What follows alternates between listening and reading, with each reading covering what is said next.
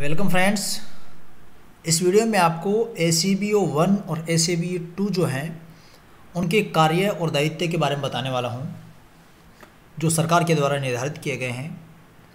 पहला है कि ए सी बी ओ वन की अपन बात करें तो कर्तव्यों और दायित्व की बात करें तो पहला है कि राज्य सरकार द्वारा जारी ब्लॉक, जिला संभाग संभाग स्तरीय कार्यक्रम के पुनर्गठन और अधिकारियों की भूमिका और उत्तरदायित्व संबंधी दिशा निर्देश के लिए संस्थापन संबंधी कार्य एवं दायित्व है। दूसरा है, समस्त विद्यालयों की कक्षा एक से आठ में अध्ययनरत विद्यार्थियों की देय छात्रवृत्तियाँ।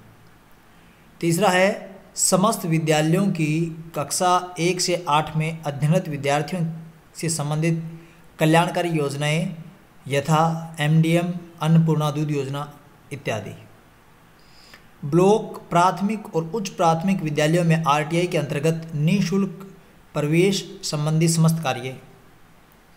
कक्षा पाँच एवं कक्षा आठ हेतु क्रमशः जिला एवं राज्य स्तरीय समान परीक्षा का आयोजन। समस्त विद्यालयों में एस आई क्यू या S I Q certification remedial class छः से नौ कक्षा छः और नौ, एवं आंगनवाड़ी समन्वयन और गुणवत्ता शिक्षा संबंधी ब्लॉक के विद्यार्थियों, शैक्षणिक और गैर शैक्षणिक कार्मिकों के खेलकूद संबंधी कार्य।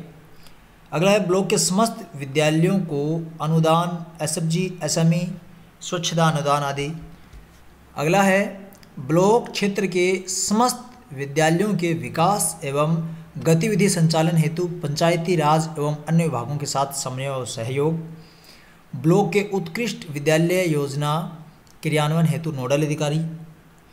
अगला है ब्लॉक के समस्त विद्यालयों में नामांकन वृद्धि ड्रॉप आउट विद्यार्थियों के लिए सर्वे एवं मेन स्ट्रीम संबंधी गतिविधियाँ, उजियारी पंचायत इत्यादि।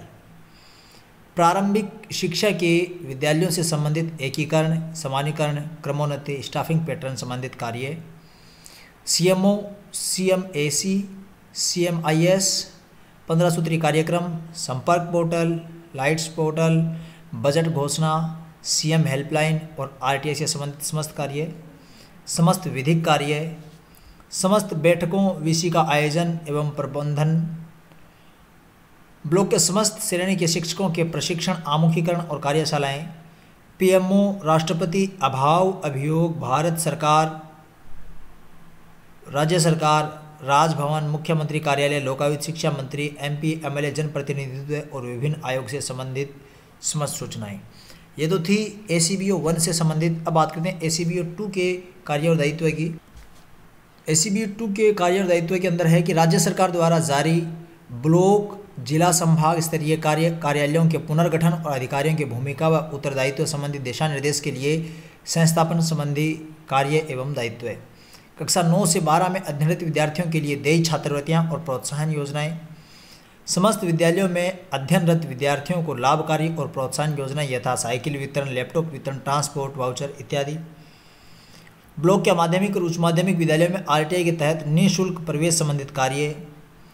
ब्लॉक के समस्त विद्यालयों प्राथमिक और माध्यमिक में निःशुल्क पाठ्यपुस्तक वितरण। ब्लॉक के आदर्श विद्यालय योजना के क्रियान्वयन हेतु नोडल अधिकारी और ब्लॉक के समस्त विद्यालयों में प्राथमिक उच्च प्राथमिक माध्यमिक और उच्च माध्यमिक में विद्यालय अवलोकन और अवलोकन संबंधित प्रबंधन प्रबोधन कार्य। इसके अलावा है कि समस्त विद्यालयों हेतु सामुदायिक सहभागिता एवं गतिशीलता संबंधित गतिविधियाँ जैसे कि पीटीए, एमटीएम, एसएमसी, एसडीएमसी आदि सीएसआर दानदाता भामाशाह औद्योगिक इकाइयों से सहयोग आदि संबंधी कार्यक्रम व्यावसायिक शिक्षा कार्यक्रम, कौशल विकास पाठ्यक्रम, संचालन कार्यक्रम। अगला है, ब्लॉक के समस्त विद्यालयों में निरीक्षण की पालना और पोर्टल पर अपलोड करवाने की सुनिश्चितता। मॉडल स्कूल और अन्य विशिष्ट विद्यालय संबंधी कार्य। यूडाइस, आईसीटी योजना C A L P click योजना, वर्चुअल कक्षा कक्ष, अन्य आईटी संबंधी गतिविधियों का संचालन। माध्यमिक शिक्षा के विद्यालय से संबंधित एकीकरण, समानीकरण, उच्च प्राथमिक से माध्यमिक माध्यमिक से उच्च माध्यमिक विद्यालय क्रमोन्नति स्टाफिंग पैटर्न एवं विद्यालयों के नामकरण संबंधित कार्य ब्लॉक रैंकिंग निजी माध्यमिक, उच्च माध्यमिक विद्यालयों को क्रमोन्नत संबंधी कार्यों में सहयोग, सतर्कता एवं जाँच, शैक्षिक प्रकोष्ठ से संबंधी समस्त कार्यक्रम सह शैक्षिक कार्यक्रम, कक्षा दस और बारह की बोर्ड परीक्षाएँ और कक्षा नौ और नौ से बारह हेतु प्रतिभा खोज परीक्षा समस्त विद्यालय में बालिका शिक्षा संबंधी कार्यक्रम के जी शारदे, छात्रावास इत्यादि। अगला है कि शिक्षक और विद्यालय पुरस्कार संबंधी कार्यक्रम, ब्लॉक के शैक्षणिक विकास हेतु क्रिया कार्य योजना निर्माण और उपरोक्त के अतिरिक्त शैक्षणिक और सह शैक्षिक विकास कार्यक्रम। ये थे ए सी बी टू के कार्य और दायित्व। अगले वीडियो में आपको बताने वाला हूँ आर पी वन और आर पी टू के कार्य और दायित्व के बारे में। तो ये वीडियो अगर अच्छा लगा हो तो लाइक करें और चैनल को सब्सक्राइब भी कर सकते हैं अगर आपको चैनल आपके उपयोगी लगता हो तो। आज की इस वीडियो में इतना ही।